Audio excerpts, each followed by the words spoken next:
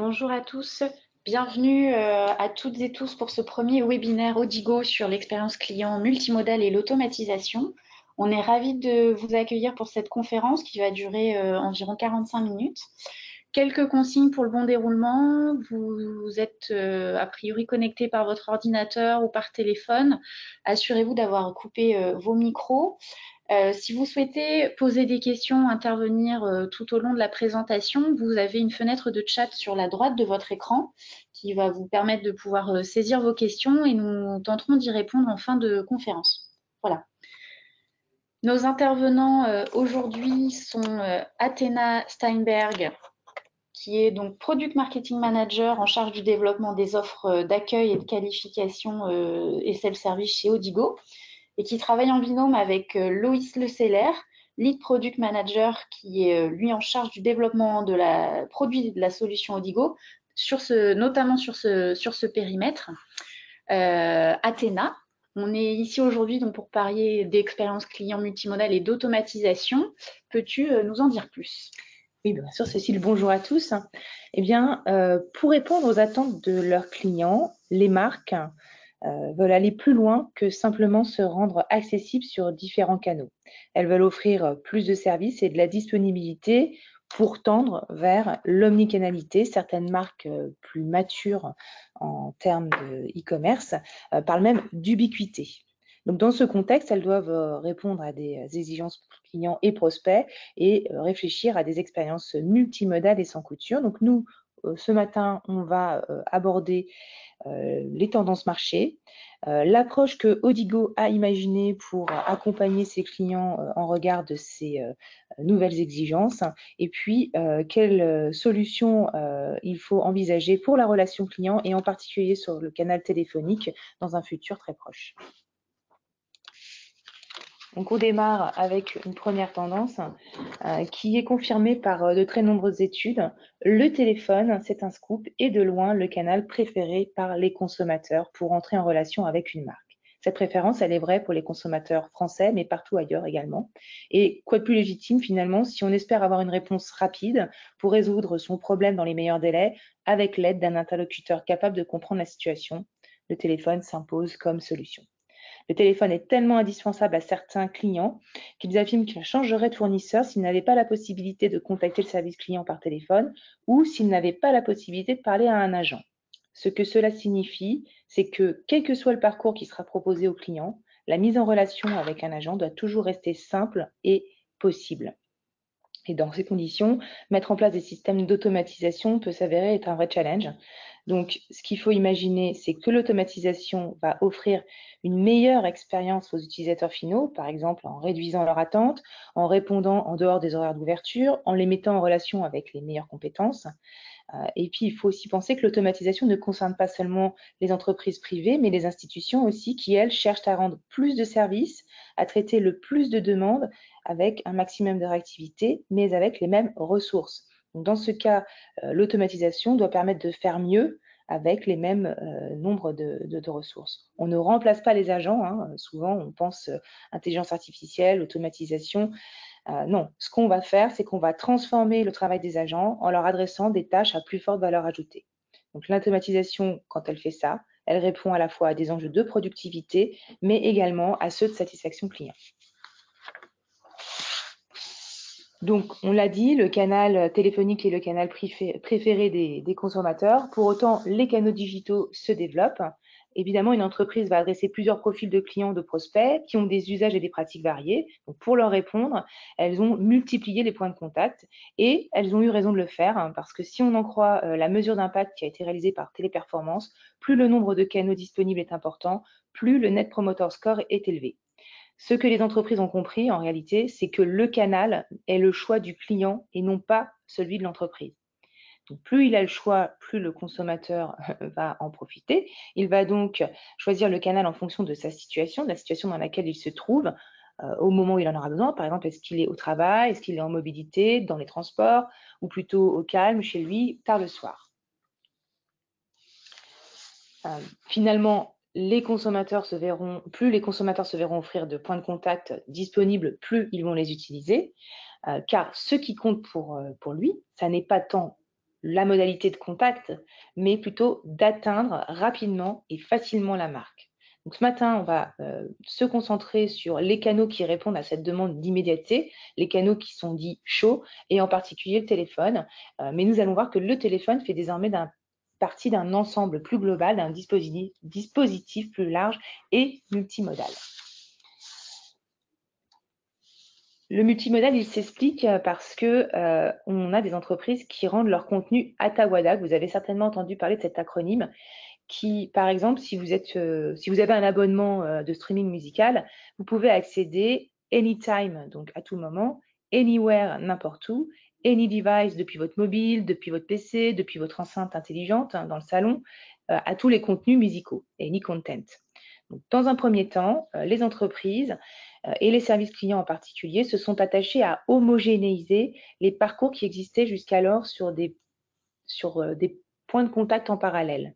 Maintenant, elles sont euh, davantage orientées dans une approche d'omnicanalité pour offrir des expériences cohérentes, qu'importe le canal utilisé d'une part, et permettre d'autre part de fluidifier ce qu'on appelait le cross-canal.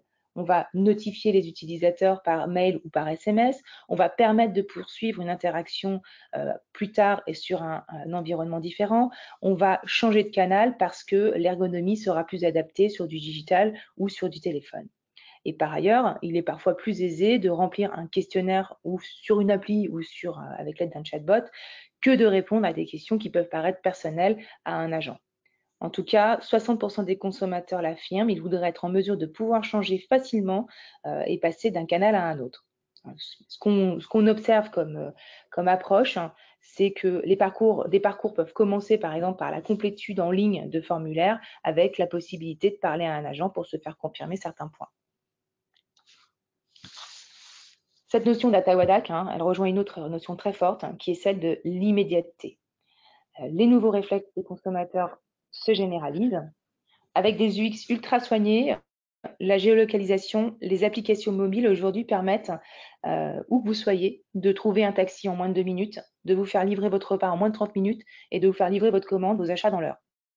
Donc ça renforce un comportement d'impatience qui est presque devenu universel euh, on avait déjà cette habitude avec euh, la possibilité de googliser n'importe quelle question à laquelle on ne trouvait pas réponse. Voilà. Donc c'est quelque chose qui se répand. Euh, beaucoup s'accordent à dire que les consommateurs sont devenus extrêmement impatients. Et Drift, par exemple, a fait une étude pour mesurer cette impatience en demandant sur quels canaux les consommateurs s'attendent à obtenir une réponse dans un délai inférieur à 5 minutes. Alors évidemment, on retrouve le face-à-face, -face, mais étonnamment, le live chat et le chatbot cumulent plus de voix euh, et encore plus de voix que l'année précédente. Ce que cela signifie, c'est que les consommateurs veulent pouvoir trouver réponse à leurs questions sans attendre et même, s'il le faut, trouver ces réponses seuls. Donc on ne peut pas dire qu'ils expriment une attente pour euh, cette autonomie, mais ils seront reconnaissants envers la marque qui prévoit des dispositifs qui leur demandent le moins d'efforts et leur permettent de répondre ou de résoudre seuls leurs problèmes. En cela, l'automatisation est une véritable opportunité pour les entreprises, hein, puisqu'elle répond au profil clients qui ne se sentent jamais mieux servis que par eux-mêmes. Il ne faut pas les ignorer. Attention toutefois, euh, euh, il faut aussi répondre aux utilisateurs qui, eux, veulent être pris en charge et qui veulent être accompagnés. C'est un peu comme quand on est dans la rue et qu'on observe une personne qui est perdue. Il y a ceux qui naturellement préfèrent parler à quelqu'un pour avoir un renseignement euh, rapidement plutôt que de chercher par eux-mêmes. et à l'inverse, il y a ceux qui préféreront toujours trouver par leurs propres moyens. L'automatisation doit vraiment répondre à ces deux types de consommateurs. Avec euh, l'avènement des assistants vocaux, peut-être euh, qu'on a euh, une approche qui pourrait réconcilier ces types de demandes. Les, assistants vocaux bah, sont de plus en plus présents dans, le quotidien des consommateurs, que ce soit au travers de leur smartphone ou des enceintes connectées. dans les marchés où, il y a une certaine maturité, 40%, 40 des personnes qui utilisent des assistants vocaux aujourd'hui ont commencé à le faire au cours de l'année écoulée dans ces pays matures, hein, les États-Unis, l'Angleterre, la Chine, euh, trois euh, utilisateurs sur quatre euh, ont fait des recherches et acheté des produits au travers d'assistants vocaux et même la moitié ont interagi avec un service client. pour soutenir les usages au travers des assistants vocaux, il faut une offre adaptée qui permette de passer commande, de réserver des billets de spectacle ou de train, de suivre un dossier par la commande vocale. Il ne faut pas confondre le média et le canal. Cependant, avec les assistants vocaux, ça donne une véritable opportunité à la voix parce qu'elle se réapproprie des usages en self-service qu'elle avait l'habitude d'adresser par téléphone avant l'arrivée des applications digitales. Donc non seulement les applications sur assistants vocaux peuvent réutiliser des parcours digitaux existants pour aller chercher des contenus génériques par exemple, mais en plus, puisque les services sont pensés pour la voix, rien n'empêche de les véhiculer d'un canal à un, autre, à un autre, par exemple, comme d'une enceinte connectée à un téléphone et inversement. Donc résumons-nous, euh, vos clients, vos prospects, eh ils veulent tout tout de suite. Donc cette tension entre euh, d'un côté maximiser la productivité et de l'autre améliorer la satisfaction client vous a déjà conduit à mettre en place des services qui permettent par exemple de donner de l'information. Euh, c'est une démarche qui peut s'avérer assez simple. Finalement, il y a beaucoup de contenu sur les sites web. On peut mettre en place des FAQ dynamiques d'aller vers plus de qualification puisque euh, ces dispositifs euh, vont permettre de mieux servir, et, de mieux servir et de mieux répondre. Et là, déjà, on fait les premiers pas vers de l'aide à l'agent. Et enfin, de mettre en place des dispositifs de self-service qui vont euh, permettre aux personnes de régler les problèmes en toute autonomie, mais aussi en dehors des horaires d'ouverture. Hein, en 24-7, c'est qui est une autre vertu de l'automatisation. Ce que je vous propose maintenant, c'est de laisser Loïs vous présenter comment Odigo se propose d'accompagner ses clients avec sa solution. Merci Athéna. Donc, effectivement, avant de rentrer dans le, dans le détail de la solution et de voir comment elle répond à, ses attentes, euh, d'abord, on voudrait vous présenter qu'est-ce qu'Odigo. Donc, Odigo, c'est le nom de la société auquel nous appartenons, mais aussi c'est le nom de la solution de Contact Center as a Service dont nous sommes éditeurs. On fait partie euh, des leaders de ce marché. On a été euh, reconduit pour la cinquième année consécutive dans le Magic Quadrant par, par. On a environ 200 clients, un peu plus, on est présent dans 17 pays. Et pour vous donner un ordre de grandeur, on gère 3 euh, millions d'interactions par an. Par interaction, on entend des interactions voix, email, euh, réseaux sociaux, euh, messagerie instantanée, etc. Nous sommes d'ailleurs une marque du groupe Capgemini au passage. Alors, ça, c'est la partie immergée d'Iceberg, hein, comme le, montre cette planche, sachant que la partie immergée, c'est que nous sommes non seulement éditeurs de notre solution, mais également nous, nous l'opérons et nous sommes intégrateurs de cette solution ce qui fait que nous sommes capables de vous apporter un fort accompagnement projet. Mais on a également euh, à votre disposition une offre de conseil où on vous fait partager notre expertise et nos méthodologies dans la mise en place euh, de, parcours euh, clients. Donc voilà, en gros, en quelques mots, ce qu'est Odigo.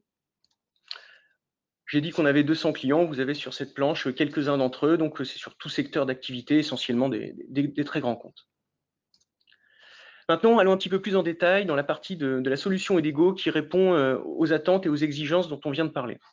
Donc, euh, c'est une solution de bot omnicanal, si on doit la, définir, et vous m'entendrez parler euh, de callbot quand on met en application cette solution sur le canal téléphonique, ou de chatbot quand on la met à disposition sur des canaux digitaux.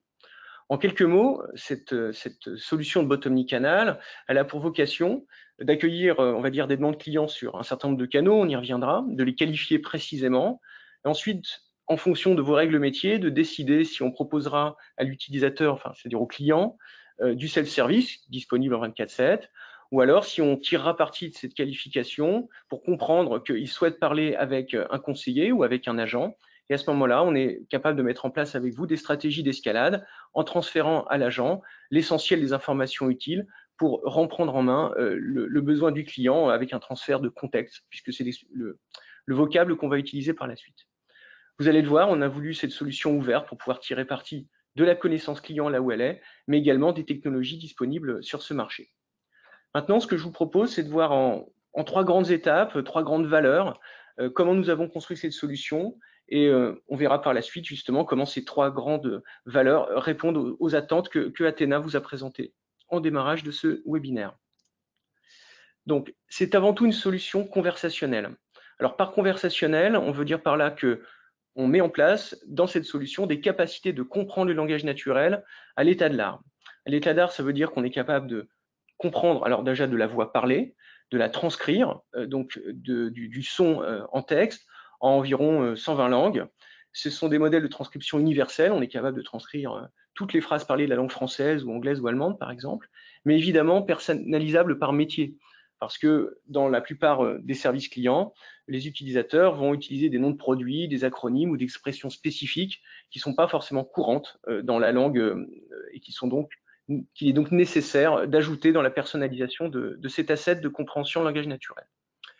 Le deuxième étage, on va dire, de la fusée euh, compréhension langage naturel, c'est d'être capable de cette phrase transcrite de tirer ce qu'on appelle un motif ou une intention. Et ça, pour ça, on utilise des algorithmes type euh, réseau de neurones euh, que l'on entraîne avec un processus. Alors, vous en avez peut-être entendu parler de ce mot de machine learning.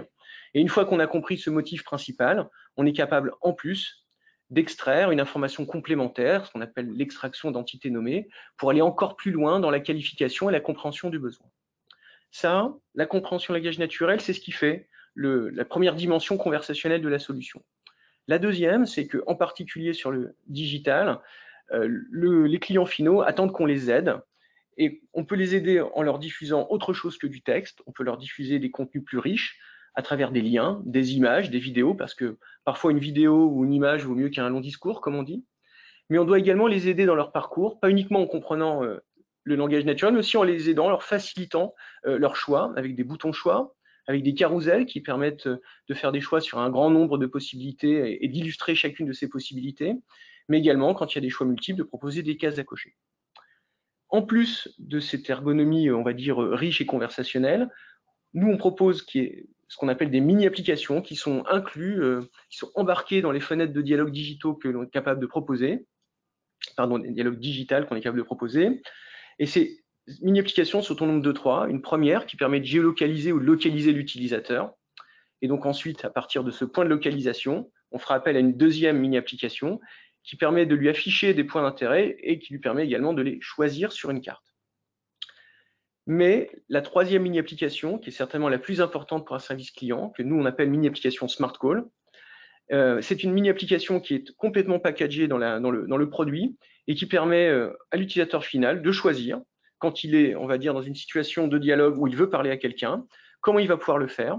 C'est-à-dire, il va pouvoir ou poster une demande de rappel qui va être exécutée immédiatement si on est en heure ouvrée, et si on est en heure non ouvrée, on lui permettra de choisir euh, dans un calendrier une date différée où il pourra se faire rappeler. La deuxième modalité d'escalade qu'on propose à travers la, mini-application Smart Call est de lui permettre d'escalader vers un agent en live chat. Dernière dimension conversationnelle euh, de cette solution, c'est qu'au cœur de la solution, on a un gestionnaire de dialogue.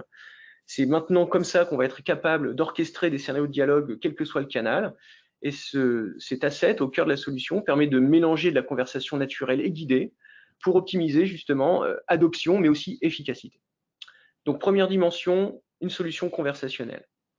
Deuxième dimension, on en a parlé, elle est omnicanal et même on va le voir multimodal. Donc les canaux disponibles aujourd'hui, c'est que ce bot, il est capable d'interagir sur le téléphone, sur du chat web, avec d'ailleurs un moteur de ciblage qui permet de réveiller la fenêtre de chat à bon escient, sur du chat mobile, c'est-à-dire on est capable de vous proposer d'intégrer sur vos applications natives Android ou iOS une fenêtre de chat. Et on propose également un canal Facebook Messenger. On en reparlera et on en a déjà parlé euh, également au début. Euh, dans le cas où on veut proposer euh, ce parcours omnicanal sur des canaux qui n'existeraient pas, comme des assistants vocaux, on a également évidemment une API qui permet, avec vous en mode projet, d'intégrer un assistant vocal du marché avec notre bot omnicanal. Donc, Déjà, omnicanal, ça veut dire plusieurs canaux, mais ça veut dire aussi d'être capable de mutualiser et de capitaliser euh, les éléments de stratégie d'engagement clés entre ces canaux pour apporter de la cohérence et de l'homogénéité dans les parcours qu'on propose. Donc évidemment, on pourra proposer une UX, une user expérience adaptée à chaque canal, mais on sera capable de centraliser les capacités de qualification, toute ou une partie des scénarios, surtout entre canaux digitaux, il est très possible de réutiliser les mêmes éléments de scénario. On pourra réutiliser des contenus, et aussi, on le verra, des points d'intégration avec des systèmes d'information tiers qui sont essentiels pour personnaliser les parcours. Ensuite, on va même au-delà de l'omnicanalité puisqu'on permet également de mettre en place des parcours multimodaux ou cross-canal. Ça veut dire qu'on est capable de passer du téléphone au digital en déclenchant depuis notre bot une notification SMS ou un envoi d'email. On est capable évidemment dans un parcours digital, de rebondir euh, sur un parcours téléphonique via un rappel, on en a parlé avec la mini-application Smart Call, mais aussi, et c'est un élément très important de nos solutions, on est capable dans cette solution de maintenir un contexte de conversation entre différents scénarios sur différents canaux pour qu'on puisse passer dans une conversation d'un canal à l'autre sans qu'il y ait rupture de, de l'engagement et sans qu'on demande au client de répéter quel est son besoin. Et puis pour finir, qui dit omnicanal dit être capacité de piloter, on va dire via des KPI métiers, ces parcours omnicanal. On a évidemment des KPI standards qui existent dans le produit, mais on sera aussi capable de vous accompagner dans la mise en place de KPI qui seront très proches de vos métiers. Dernière dimension de la solution, euh, c'est une solution ouverte et de bout en bout. Et ça, ça répond à une attente qui est l'attente de personnalisation et de mise en place de, parcours qui engagent, qui apportent de la satisfaction au client final. Ça veut dire quoi? Ça veut dire que un bot omnicanal doit pouvoir disposer de la connaissance client ou déclencher des actions métiers. Et pour ça, euh, évidemment, on dispose d'une base de questions-réponses, euh, d'un repository de contenu euh, inclus dans l'offre, mais on peut compléter ces bases de questions-réponses en s'intégrant à des systèmes d'information de nos clients, qui peuvent être des CRM, des bases de connaissances ou des bases de données métiers, à la fois pour apporter des éléments de personnalisation, apporter des réponses ou même déclencher des actions lors d'un parcours de self-service, par exemple. Ça, c'est une des dimensions très importantes de cette solution. Mais on a voulu également l'ouvrir aux technologies du marché, sachant qu'on est un marché en pleine ébullition, où on rencontre souvent des prospects et des clients qui ont fait un premier investissement sur une technologie d'automatisation comme Google Dialogflow ou IBM Watson. Et là, nous, on a mis en place une politique de connecteurs, avec un premier connecteur vers Dialogflow et un connecteur euh, Watson à venir, qui permettent à ces grands comptes de réutiliser ces, ces scénarios pour pouvoir piloter toute ou une partie des dialogues qu'ils mettront en place à travers notre, notre produit de bot omnicanal.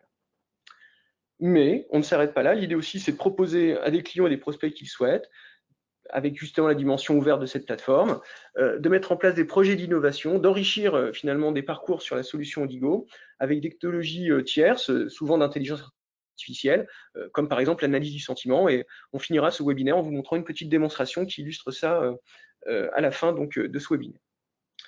Enfin, la dernière euh, qui, est, on va dire, plutôt la dimension de bout en bout, c'est qu'il est important, ou à la fin euh, d'une qualification avancée, ou même lors d'un self-service, lorsque on n'offre pas satisfaction au client, de lui permettre sans couture d'être mis en relation avec un agent ou euh, un agent humain.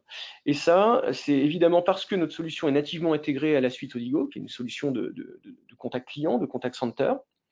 Mais en plus de ça, on va faire ce passage de relais en diffusant à cet agent euh, les informations essentielles pour lui permettre de reprendre la main sans demander au client final de répéter. Et c'est pourquoi notre solution dispose d'une génération automatique d'une synthèse de dialogue qu'on est capable d'afficher l'agent euh, à bon escient. Voilà pour, euh, on va dire, le, focus sur la solution Odigo et comment elle répond à ces enjeux. Je vais laisser Athéna maintenant prendre la suite et vous expliquer quels sont les use cases qu'on peut mettre en place. Merci, Alors, le L'automatisation du parcours téléphonique, euh, c'est quelque chose qui euh, existe depuis un certain temps parce que dans la relation client, le canal téléphonique concentre les plus forts volumes. Donc l'automatisation est primordiale et elle est donc répandue. Et du coup, elle est admise par les utilisateurs, ce qui facilite son extension de la qualification vers plus de self-service. Car Finalement, qu'importe le mode de navigation, la première automatisation possible du parcours téléphonique se trouve dans la qualification. Celle-ci aura pour objectif de déterminer le plus finement possible le motif d'appel. En ayant recours au langage naturel, cela permet d'encore plus automatiser cette étape en associant des intentions à des actions.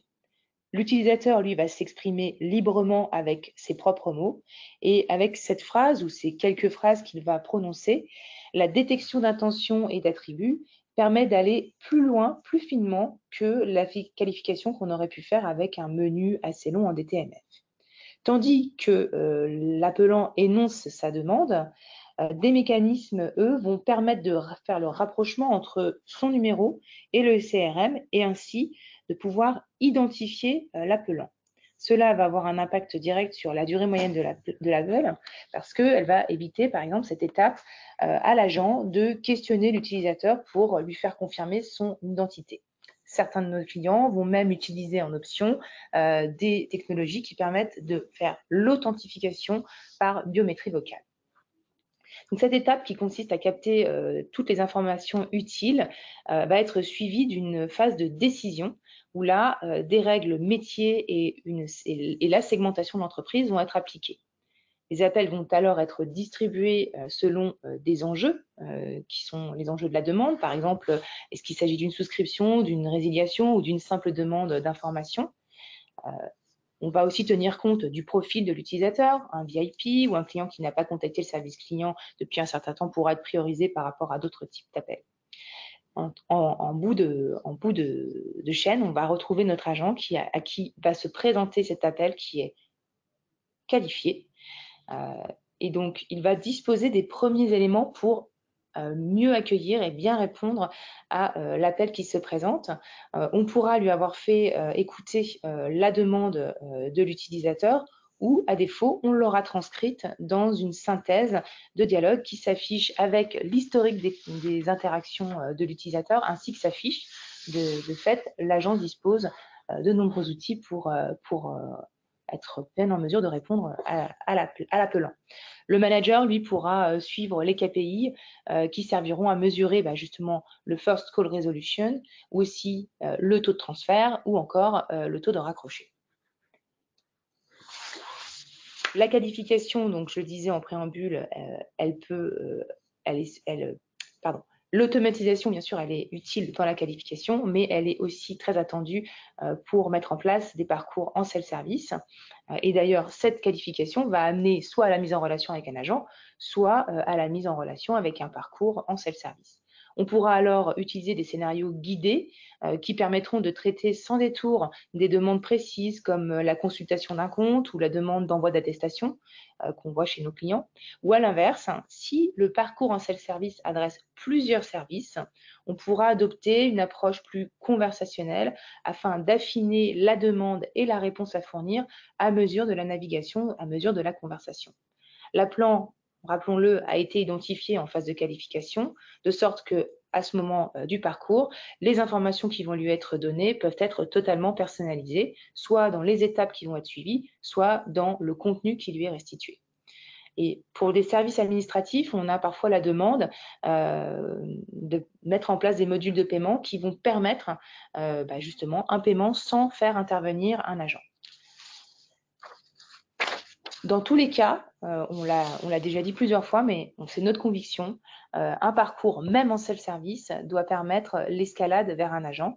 Et donc, admettons qu'il est suivi, euh, il ait fait une demande d'information sur son compte, c'est un cas très répandu, et l'utilisateur veut finalement parler à un agent, ce sera possible. Et toutes les informations qu'il aurait eu, que l'agent aurait eues lors d'une interaction en callbot direct, il les retrouvera également à la suite de ce parcours en self-service.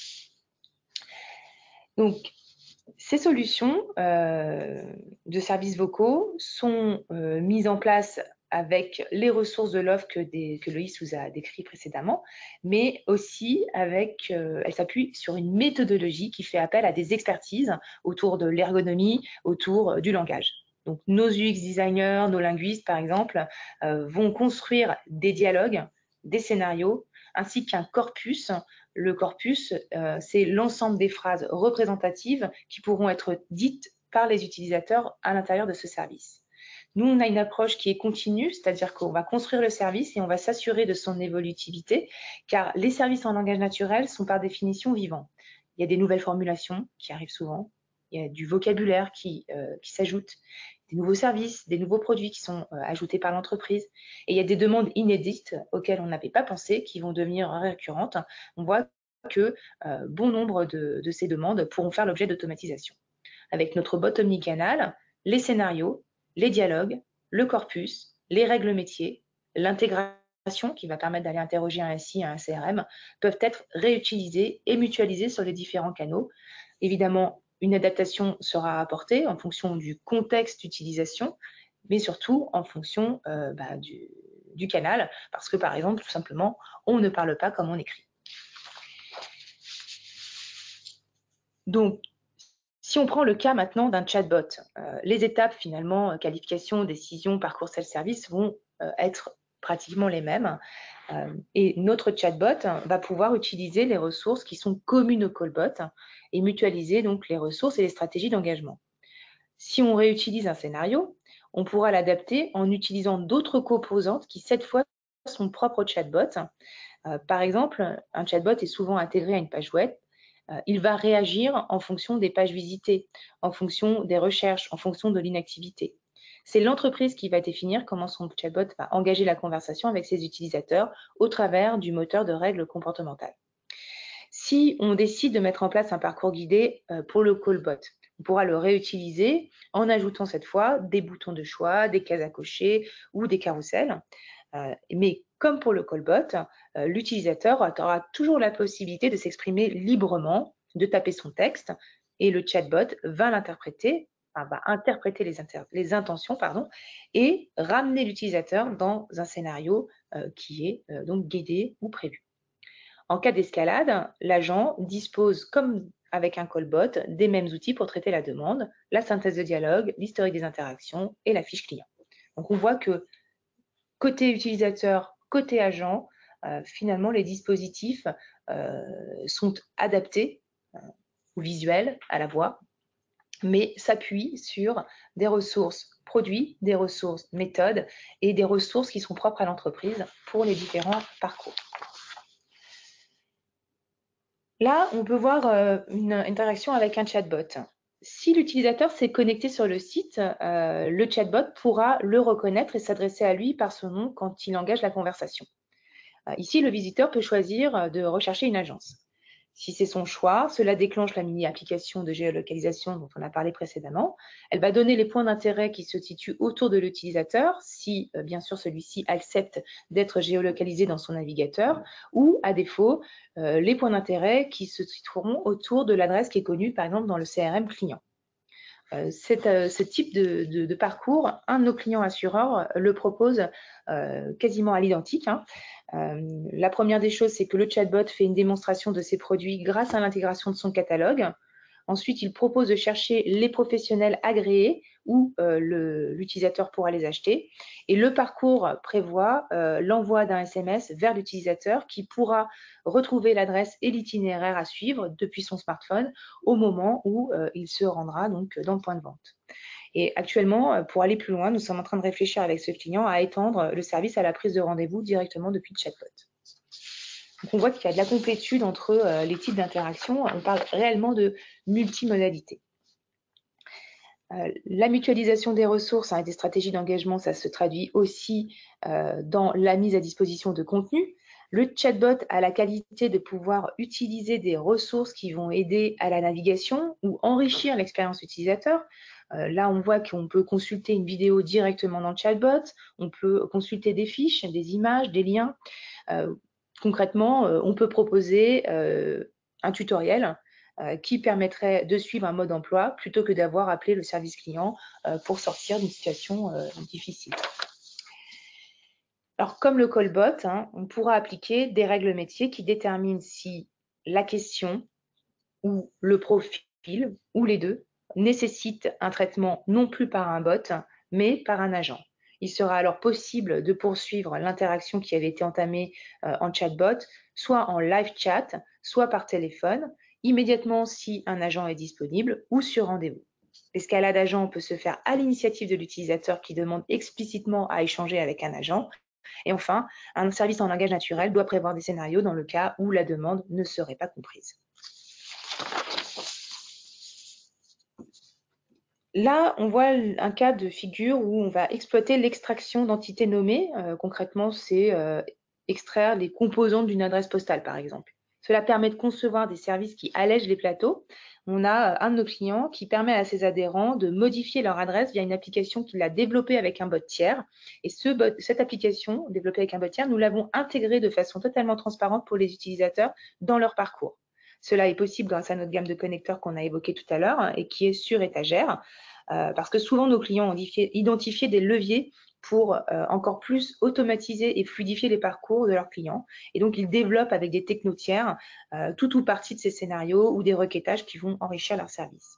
Cela permet à nos clients de réutiliser des technos ou scénarios qu'ils ont développés et cela nous permet, nous, Odigo, d'offrir à nos clients une solution de bout en bout, de l'utilisateur final à l'agent, en ajoutant l'innovation à nos solutions.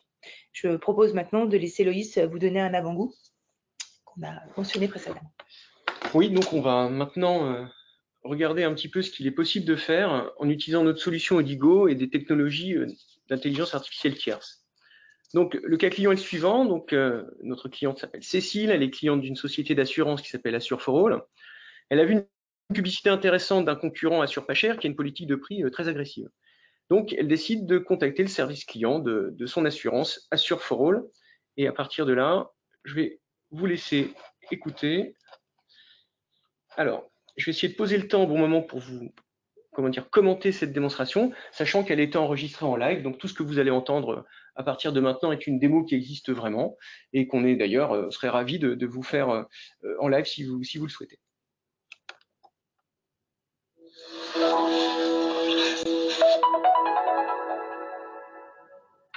Bonjour Madame Dupont, bienvenue chez Assure for All. Que puis-je faire pour vous? Bonjour, j'ai vu une pub de votre concurrent Assure pas cher pour son assurance auto et je voudrais renégocier mon contrat s'il vous plaît.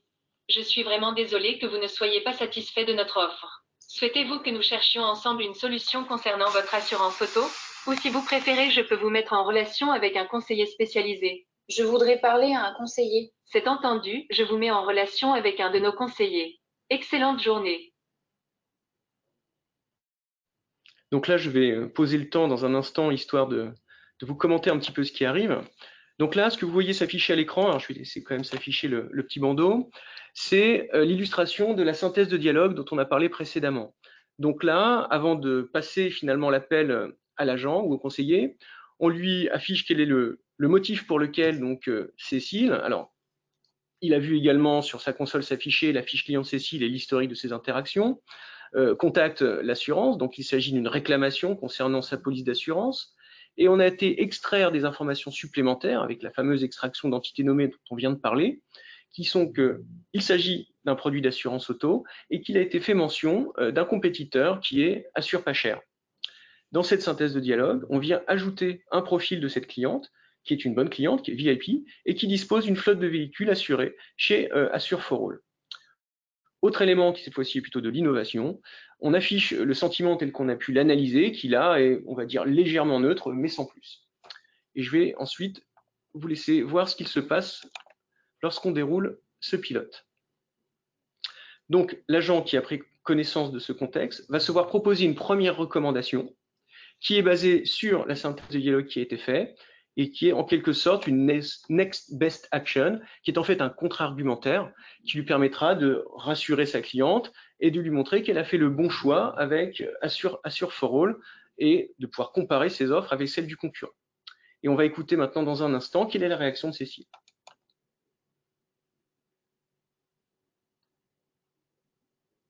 Honnêtement, cela ne me convainc pas du tout et je préfère résilier l'assurance de mes véhicules.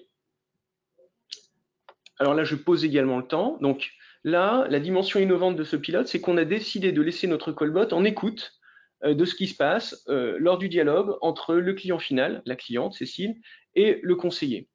Et du coup, cette, ce callbot en écoute permanente remet à jour le sentiment, et là on voit qu'on est passé clairement dans un sentiment négatif, remet à jour le nouveau motif, on est passé d'une réclamation à une demande de résiliation, et on va pouvoir à ce moment-là proposer une nouvelle recommandation. Et vous allez le voir, cette nouvelle recommandation euh, qui va s'afficher euh, une fois que l'agent aura cliqué sur ce lien et d'offrir la possibilité d'un discount à cette cliente. On va la laisser maintenant réagir à cette proposition. Euh, oui, merci, ça m'a l'air beaucoup mieux. Cependant, j'aimerais pouvoir prendre rendez-vous avec un agent pour faire une revue globale de mes contrats avant de prendre une décision. Encore une fois, je pose le temps. Le motif a été pris en compte euh, en temps réel. Il s'agit d'un rendez-vous agence. On a vu qu'il y a eu un peu rétablissement euh, de la satisfaction. Le sentiment est redevenu neutre. Et cette fois-ci, l'aide qu'on apporte à l'agent, vous allez la voir s'afficher. On lui propose d'envoyer via SMS un petit lien, qui est un lien d'ailleurs vers un chatbot, qui permettra via la ressource que l'on a déjà présentée, qui est la recherche de points d'intérêt, d'afficher à Cécile les agences d'Assure for All qui sont proches de son domicile ou proches de son lieu, euh, du lieu de son choix. Voyons voir maintenant la, la dernière réaction de, de, Cécile. Merci, bonne journée. Voilà, c'est bref, mais en tout cas, du point de vue euh, de, de, la détection du sentiment, on voit clairement que le fait qu'elle ait remercié, qu'elle ait souhaité bonne journée, on est revenu à un sentiment beaucoup plus positif. Vu de l'agence, ça veut dire qu'il a eu un first call resolution, le cas qui a été ouvert est résolu, et euh, Maintenant, il va laisser Cécile en self-service, trouver une agence Assure for All et éventuellement rediscuter de son contrat ou de ses prestations euh, dans cette agence. Donc, voilà pour cette courte démonstration. Ce qu'on va faire maintenant, c'est que, alors, on n'a pas le temps de vous montrer tout ce qui se passe en back-office, mais vous voyez que euh, on peut aller consulter l'historique des sentiments et voir ce qui s'est passé ensuite. Mais le message qu'on voulait faire passer avec cette courte démonstration, c'est que l'automatisation, ce n'est pas seulement euh, de la productivité et de la satisfaction client, ça peut être aussi de la satisfaction du conseiller. C'est ce que nous, on appelle la symétrie des attentions. Et justement, l'idée, c'est de se dire, à partir du moment où on accompagne bien l'agent, celui-ci est plus disponible pour satisfaire et accueillir le client, et c'est encore euh, un accroissement de cette capacité à offrir des parcours fluides de la satisfaction du client, et donc d'avoir une first call resolution et un temps de résolution optimal. Voilà pour euh, terminer ce webinaire et maintenant nous sommes euh, disposés à répondre à vos questions. Merci Loïs, Athéna. Euh, pour, poser vos questions, je vous invite à utiliser la fenêtre de chat donc, qui se trouve à droite de votre écran. On va en prendre connaissance tout de suite. est-ce que... Alors, est-ce qu'il y en a? Alors, bonjour, une entreprise a-t-elle déjà mis en place ces fonctionnalités? Si oui, pouvons-nous avoir un retour d'expérience? Alors, la réponse est oui. Plusieurs entreprises sur le callbot et sur le chatbot. Euh, après, c'est une entreprise qui souhaite peut-être garder un peu de confidentialité, donc c'est difficile de vous y répondre, euh, on va dire en live. Donc à ce moment-là, prenez contact avec nous et on verra ce qu'on peut faire et, éventuellement, s'il est possible, de, vous en dire plus. Vous mettre en relation avec euh, voilà. quelqu'un chez eux. Pour le coup, ça ne on ne va pas se permettre de, vous y répondre comme ça lors de ce webinaire. Est-ce qu'il y a d'autres questions? Alors, vous n'avez pas abordé le canal email dans votre présentation. Y a-t-il des possibilités d'automatisation pour ce type de canal? Alors, la réponse est qu'on a choisi de privilégier dans cette présentation les canaux chauds, puisque une des grandes valeurs, c'était l'immédiateté, hein, ce qui n'est pas forcément le cas de l'email. Pour autant, il y a des possibilités d'automatisation, en tout cas de la qualification du, du email. Aujourd'hui, le bot email, c'est encore des tendances qu'on ne voit pas tellement sur le marché, mais, euh, je peux vous dire qu'enfin, du côté d'Odigo, nous y travaillons. Donc, ce sera des choses que nous, on vous en dira plus lorsque notre roadmap euh, aura progressé dans cette direction. Est-ce que la solution s'intègre avec Salesforce, un bandeau d'appel Alors, euh, comme je l'ai dit, en fait, la solution Odigo au sens large est intégrée, très fortement intégrée avec Salesforce. On a plusieurs niveaux de connecteurs Salesforce qu'on peut vous présenter. Donc, euh, j'ai envie de dire, finalement, la solution bottom canal étant intégrée globalement avec la Odigo, la réponse est oui. Et on peut, par exemple, tirer parti d'informations dans Salesforce pour personnaliser un parcours, ou on pourrait utiliser euh, Salesforce et le bandeau euh, qu'on a mis en place intégré entre Salesforce et Odigo pour afficher la synthèse de dialogue, par exemple. L'intégration CRM se fait aussi avec d'autres. Et l'intégration CRM, alors là, on a mentionné Salesforce, mais nous, nous sommes agnostiques, même si Salesforce est un de nos partenaires des CRM, et nous sommes capables de s'intégrer avec d'autres technologies CRM, bien évidemment. Quelles sont les différences entre le canal téléphone et l'assistant vocal? Alors, Athéna l'a dit en début de ce webinaire, euh, le canal téléphone est un canal sur lequel la mise en relation est directe, on peut faire un transfert. L'assistant vocal, finalement, se comporte comme un canal digital que l'on pilote avec la voix, et donc, la mise en relation se ferait euh, à travers un callback, par exemple. Est-ce qu'il y a une plateforme de démo pour voir comment faire les paramétrages? Alors aujourd'hui, nous, les démos, c'est nous qui les accompagnons. Euh, par contre, on, serait tout à fait ravis de vous faire une démo. Euh, on n'a pas prévu de laisser notre produit en, en self-service à des clients pour qu'ils puissent faire eux-mêmes leur paramétrage sur les scénarios de dialogue, sauf si ces clients ont fait le choix de Dialogflow par exemple ou bientôt d'IBM Watson, auquel cas là il serait complètement maître des, parties de scénario euh, qu'il piloterait avec, euh, avec ces deux produits-là. Comment faire une formation des certifications? Alors là, c'est des sujets qu'on n'a pas encore abordés, mais si ça vous intéresse, je vous invite à prendre, euh, on va dire, contact avec nos commerciaux et de, discuter avec vous de quel serait votre projet et comment vous pourriez, vous, tirer parti de ces solutions pour, pourquoi pas, être formé à tout une partie de ces solutions. Ensuite, pouvez-vous détailler l'utilisation que vous faites de Google dans la dernière démo? Alors oui, c'est vrai qu'on était assez vite sur cette dernière démo parce que l'idée, c'était pas de s'attarder sur la technologie. Dans la première partie, vous avez entendu, c'est notre callbot, donc là, pour le coup, on est 100% dans du Odigo. À partir du moment où on s'est mis en écoute de ce que dit l'utilisateur final, on a couplé Odigo avec notre callbot, également avec Dialogflow. et avec en particulier les fonctions d'analyse du sentiment. Et on a également utilisé une autre partie d'une suite Google qui s'appelle Google Contact Center AI, et on a utilisé notamment leur, leur base d'Agent Assist. Et c'est grâce à ça qu'on a stocké les informations, on va dire, d'aide à l'agent qu'on affiche au fur et à mesure. Merci Loïs. Euh, est-ce qu'il y a d'autres questions?